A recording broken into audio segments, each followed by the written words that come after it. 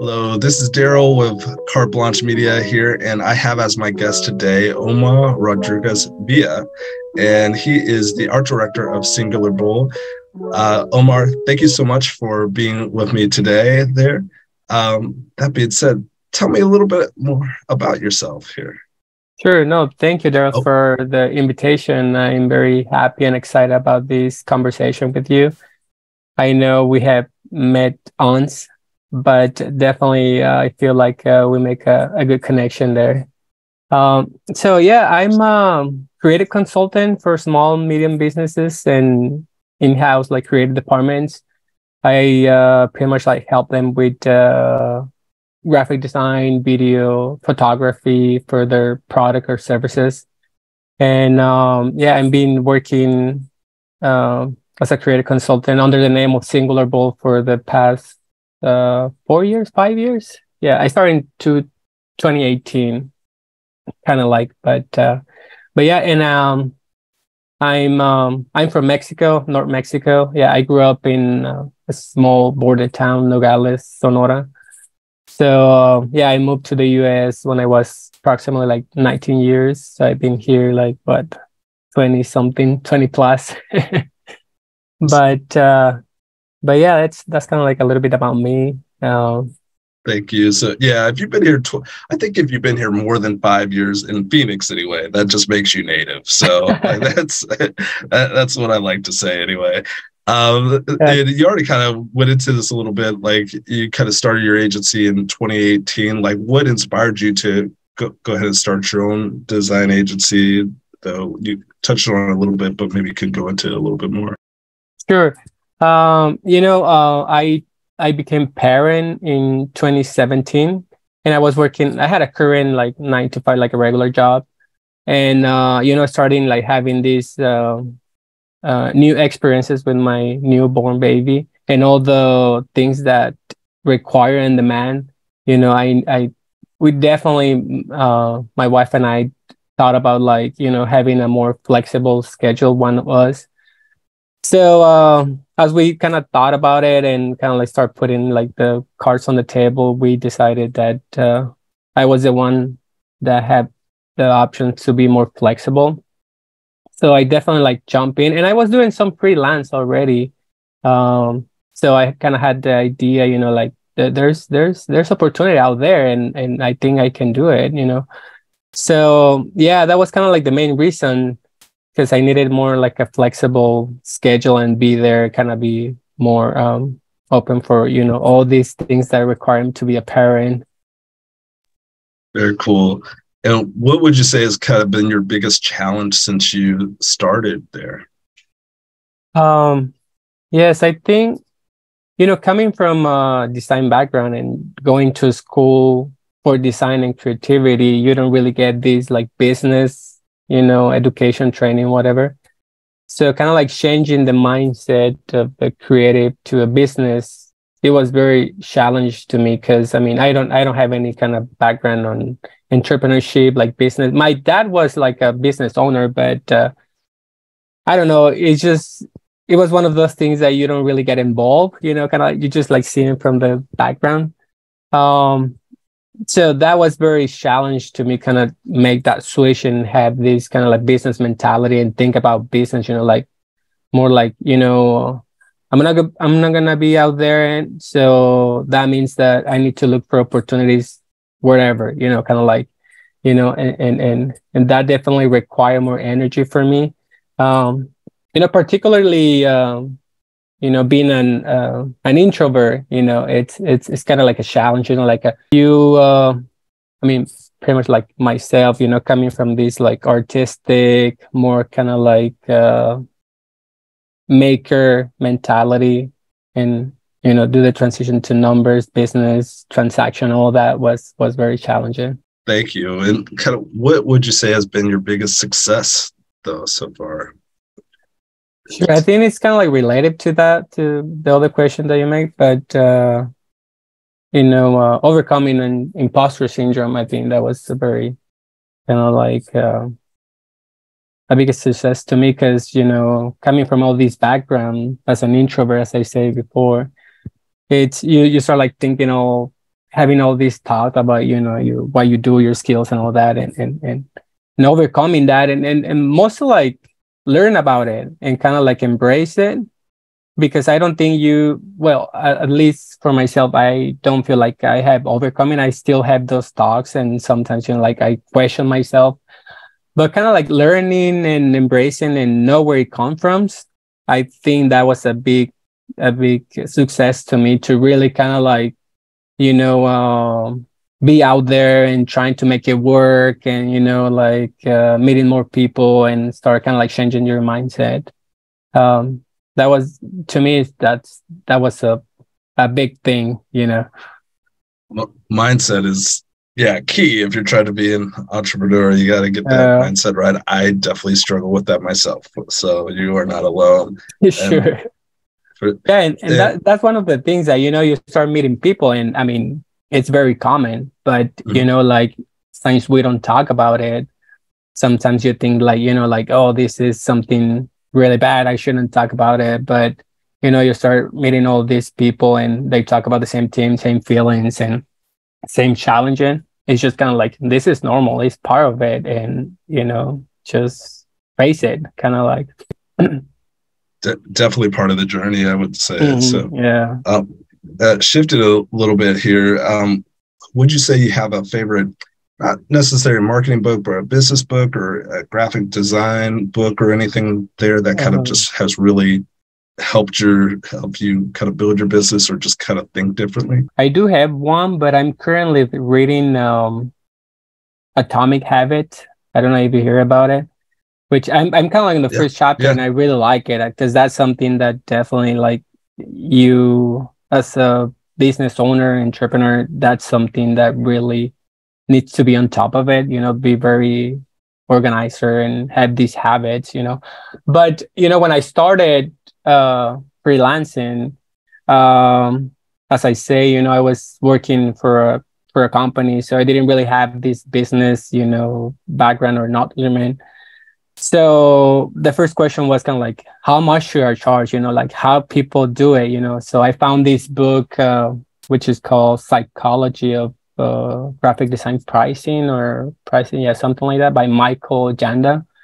And it's a really great book. I mean, it's very easy to read, and uh, you know the worksheets and all the the things that you do through the book really kind of explain how to come up with these prices, and and he covers like the different price of aspects, you know, like the value aspects and the hourly uh, price, you know, charge.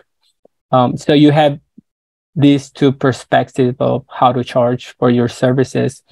So it was really good and it was really um, like an open mind for me and kind of like know exactly, you know, how to quote or charge for my services. He does he does uh he does have a podcast and you know like all these Instagrams uh, content which is I I kind of like consume too on a, every time, you know is is the podcast just name uh, or Michael Janda, or does it have some other name to it?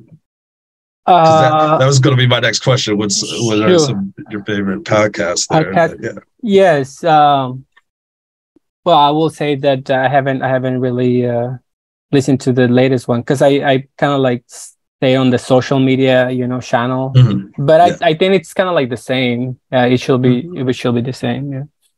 Okay.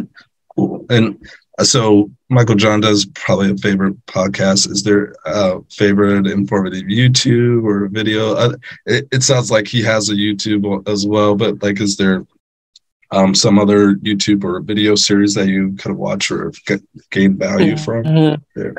Yeah. Um, you know, I um, I used to watch a lot of the. I'm not sure if you're familiar with uh, the Futur by Chris Do. I think I have heard that name twice there. Um, actually, yeah. in these interviews that I've been doing. So yeah, yeah, he's really yeah he's really. I used to uh watch a lot of his YouTube videos, and now like I stay with the social media too. But uh, definitely, that was another kind of like uh, piece of content that really kind of changed my mind because he talks about like uh, how to price and how to sell and how to you know the other the other aspect of having a business as a designer not only focusing into the creative you know maker area but kind of like do the business.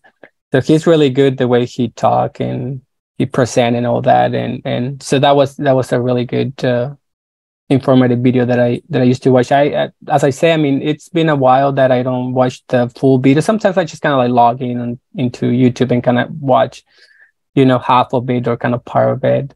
But uh, definitely like his uh, social media content, I I read that like every time that it appears on my feed. cool, very cool. And it, has there been a um, really helpful resource or tool that you've used for your business in the past year at all? Mm-hmm. Mm. You know, actually, um, as I as I mentioned, I started working as a consultant on 2018, but I took a break during the pandemic, 2018, 2019, and part of 2020, I I still um, I still work with some of the clients that I had at that time but I took a break because of the pandemic and my second uh, newborn, which kind of like I I we decided just to kind of lock down and you know not go out for any reason because it was kind of like you know like a kind of weird uh, time, you know. So we kind of decided strange. to yeah, it was strange. So uh, I decided just to take a break during that time and I kind of reactivate uh, on um, uh, the beginning of this year. It's kind of like late last year and the beginning of this year. So, uh, and one of the the platforms that I found that I wasn't familiar with it, it's called Alignable. Mm. Are you mm-hmm. familiar with that? I, am familiar with it. I, you know what? Like, I would love to get your opinion on that because I think it's like trying to be like a LinkedIn there mm-hmm. a little bit, but I've I'm kind of like on there sometimes, but I don't know if it's like really worth my time to be on it. So go ahead and give me your feedback on that. You you had some good success with. I mean, so far, I I can say that yes, I have. Uh, I started using this year, so I'm still kind of like to learning and kind of trying to engage with the the platform and kind of like then uh, learn the the house but uh, you know like linkedin it's it's kind of like business professional kind of like but uh, Alignable is it's more direct to people who is really doing business or business owner okay so and and the way that they break it they have these groups too uh, that okay. is kind of like phoenix groups and chandler groups and stuff like that mm-hmm. so they do a lot of like networking events and um you can engage with them and like the platform will let you know every time that a new business uh, open an account in your area so mm-hmm. that's a good opportunity to kind of like you know introduce yourself and kind of like do some follow up and you know um and the, the other thing that i just kind of like start doing it is the they call it uh, smart connect networking events and it's basically like speed networking online but it's it's with the phoenix group channel.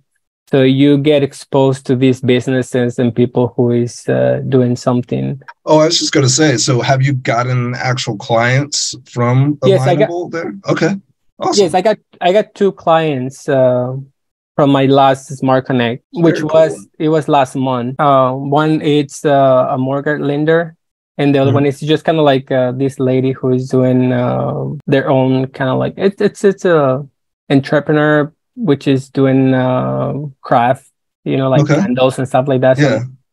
i'm i'm kind of i'm gonna help her with uh, product photography so very cool yeah um, it's it's, it's kind of cool i, I kind of like it but uh, definitely i need to spend more time on it to really learn it and and and and see their full potential. Yeah, I, I, definitely have some contacts that are like really active on Alignable, but mm-hmm. I and I don't know. People have been like pinging me to join Alignable uh-huh. uh, for a while, and then a good friend like pinged me like, "No, you should join it," and I did. And I've, I've just I've just kind of wondered how to how to kind of navigate it. Still, I'm still trying to figure it out. So love to connect with you on there afterwards sure. here if uh, yeah. we're not already here. So no, no, that's that's great, great resource. Yes. Thank you. It it's yeah. a little it's a little annoying. I just need to kind of like change my settings because you get like a lot of emails. yeah. like a lot of notifications that I mean, you know, some some things that you don't really need to. But yeah. uh, I think it's more kind of like a setting that I really haven't too deep and kind of change it. But uh, in terms of uh, lead and connection, I I I think it's a really good platform. I which I was I was very surprised because I I have been very uh, active on LinkedIn, uh-huh. but uh, haven't really kind of get any kind of lead from from LinkedIn. Yeah, interesting. Okay, well, two more questions for you here, oh. and then I'll, I'll I'll let you go. So, what would you say is the most impactful piece of advice that you could give those who are looking to improve their design or like design business or like if they needed help from you there? Like what, what would you say is your most impactful piece of advice? Uh, i will say um, find the time to do uh, personal projects. I think so for me that has been like uh, very impactful and very uh, productive i will say and very effective. Maybe kind of adding that too. Because you know like just doing personal work and it, it gives me the opportunity to really uh, explore new tools new techniques new anything you know and that that can lead you into new opportunities new projects. And i think that's that's very important to me and, I, and that's something that definitely i will recommend to any designer creative out there to really fine. i know i know it's hard you know trying to kind of run a business or or just kind of like have your regular job and then family and everything it's it's difficult but definitely do the effort to to really find that time because you know for example like for me during the pandemic actually i was uh, doing stop motion animation and that was mm-hmm. something that i really wanted to to do and kind of explore but never really kind of focus in doing it so during that time i was like i need to do something because you know like be at home, being at home like 24 7, it was difficult. So I started doing it and just kind of like exploring, you know, like uh, just playing around and kind of like trying to learn it and trying to kind of like see how the, you know, the process of creating something. Uh, so I started creating this like short stop motion animation with, uh, you know, just regular objects, you know, and uh, one of the clients that I had at that time, saw what I was doing in, and they uh, asked me to help them to create like three, st- two stop motion animations and a short video for for them. So it was really cool, and that was something that I wasn't really kind of like doing it. So I was kind of like, oh my gosh, this is, I mean, it's paying off, you know. so uh, cool. yeah, so definitely like you know trying to find that time to to do personal projects, you know, people watch you know people out there is kind of like look at your stuff and look what you, other people is doing so they may you know get in contact with them for for whatever they're doing gotcha i i got uh, another question just kind of popped into my mind here mm-hmm. we can cut this out if you if you want but this might open a can of worms but um what is your opinion on the impact of like AI art on the design world right now here. Mm-hmm. We might have already talked about this, but I don't know if you want to skip that for after that everyone can do that. Sure. No. Uh, well, let's see. Let's see how it goes. no, definitely. I. It's definitely changing the market. Mm-hmm. The way I see it is definitely changing the market. You know, it's it's. I mean, it's amazing the things that you can create. You know, it's it's just impressive. Um, but i the way i see it is at this point i think is definitely something that we can use as a process and and kind of like incorporate that as a part of our creative process to just generate ideas and to kind of generate like a mock-up if you want to say that way you know because mm. uh, sometimes you know it requires you know when you're trying to create something new you, you just need to kind of like sketch it out and kind of like you know painting or just kind of like put some color and then transfer that to the computer and trying to kind of like make something. But man just doing all that with just a couple of words is just like it's amazing. It's amazing. Mm. and and i think how i see it is that uh, a lot of creative people are using it. I think the problem is gonna be if there's a problem for sure when when kind of like the lay normal people start like messing around with that i don't know if that's gonna be a good or bad because you know as a creative we have the taste we have the eye is trained you know for mm-hmm. for a composition to create a composition, but somebody who doesn't have it and is just gonna start creating something is gonna, you know how it happened with uh, all these tools that are out there, like like mm. uh, that uh, are very practical for like for everybody, but you start seeing like this repetition of like designs and concept, mm. and now you you don't see like who really created that image because yeah. it looks the same. So mm-hmm. I think that's gonna have that could happen with uh, AI on the design aspect, you know, area. Right. And, and probably with the with the writing too, you know, with the what is called the chat GTP. Yeah. yeah. Mm-hmm. I, yeah. I think it, I think it's just gonna fall into like the same and it's gonna sound the same, it's gonna look the same. So maybe we'll get into a point where like people will know that it, it comes from there, you know, and and they will lose value or kind of like you know right. po- power per se you know but in the production aspect is is is great. It's amazing. It's it's it's it's it's a really great tool. I don't know where that is going to end but definitely something that as a creative we need to uh, learn about it and kind of like uh, at least kind of like you know understand it a little bit because uh, mm-hmm. for sure for sure as i said i think that's going to be part of the creative process for now on you know yeah i agree um, i think you kind of have to e- evolve there or get left behind a little bit but just my opinion there and last question for you there uh, omar is how can people get a hold of you or learn a little bit more about you what's kind of the best way Oh, sure. Uh, well, my I will say my website. They can go to my website, which is uh, www.singularbold.com. And um, social media, I'm I I try to be very active, uh, but sometimes you know time doesn't allow it. But uh, definitely, definitely they can go there and, and and and check out some of my work. Which on Instagram, I'm my handler is at by by dot singularbold and facebook is just like add a singularbold which i'm i'm more active on instagram like facebook i i, I don't really use it but uh, Instagram, I'm I'm more active because I, I kind of like the the visual aspect of Instagram. Completely understandable for a designer there. So. yeah. well, Omar Rodriguez Villa, thank you so much for taking the time today. I really do appreciate it, and you have a great rest of your day. Oh, sure. Thank you very much for the invitation, and it was a great talk talking to you. Thank you. Sure.